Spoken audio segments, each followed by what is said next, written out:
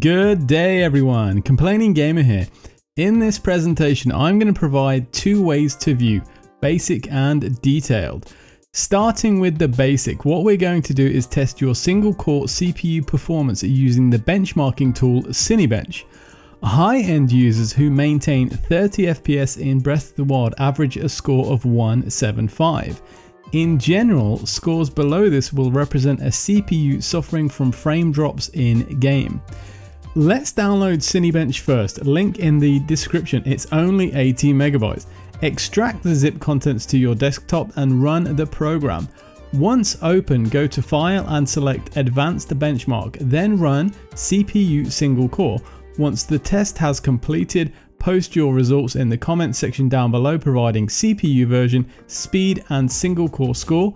You may also include your in-game FPS if you have experience playing. Now onto the detailed explanation. For too long, all we've had is testimonials and guesswork. It's about time we applied some science and standardization for establishing whether your CPU is theoretically capable of running Breath of the Wild at a consistent 30 FPS within the Wii U emulator Cemu. To do this, we are going to use the industry standard benchmarking tool Cinebench and use its single core testing feature. Cemu relies heavily on the single core performance of your CPU. I'd like to thank Discord user ColdShock for bringing this technique to my attention. This method removes a lot of the guesswork and provides genuine compute statistics. For now, the portion of the Cemu community testing Cinebench has settled on a single core score of 175 as a solid average for those users who are able to maintain 30 FPS consistently in all areas with little to no FPS drops. There are always other variables to consider and Cinebench is not a bulletproof test, however it is by far the best testing tool we have for now. A score of 175 was chosen based on a group of users with high-end CPUs where the lowest performing CPU was able to maintain 30 FPS most of the time but not quite all the time and achieved that score. As a reference, my CPU is an i5 6400 with a base clock of 2.7 GHz which can turbo boost up to 3.3 GHz. My single core performance in Cinebench was 144.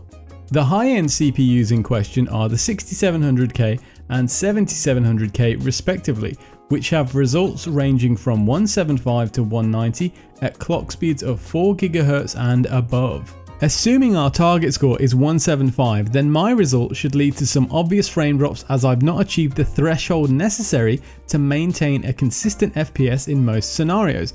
This is indeed the case based on my personal experience. The use of Cinebench will give new and existing users a good estimate of what they can expect to see performance wise without even having to go through the process of setting up the game. Cinebench is the perfect tool as it's only 80 megabytes and finishes the test quickly. In the description below, I'll also provide links to Cinebench score databases, also, please remember to post your own results in the comments section providing CPU version, speed, and single core score. You may also include your in-game FPS if you have experience playing. So there you go people, get testing, share your results, and hopefully we can finally start to enjoy some standardization. I've been the Complaining Gamer. If you enjoyed the content, thumbs up. If you didn't, thumbs down. If you want to come back for more, remember to subscribe. Take care have a great day and I will see you next time.